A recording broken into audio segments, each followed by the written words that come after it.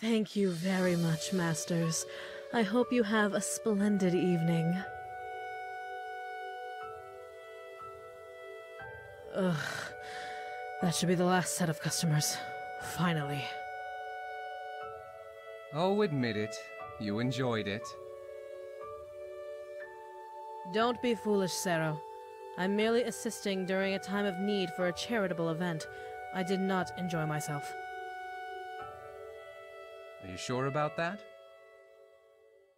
You doubt me, husband. If I may be so forward, I do indeed. After all, you decided to trick everyone and use magic instead of wearing fake cat ears.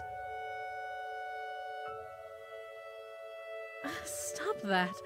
I was not going to suffer wearing fake ears all day.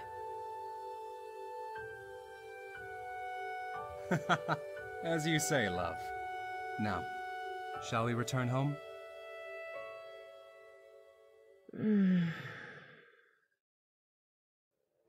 Ezaeur? In a moment. For now, just keep petting my head. Um, Just do it, Zero. as you wish.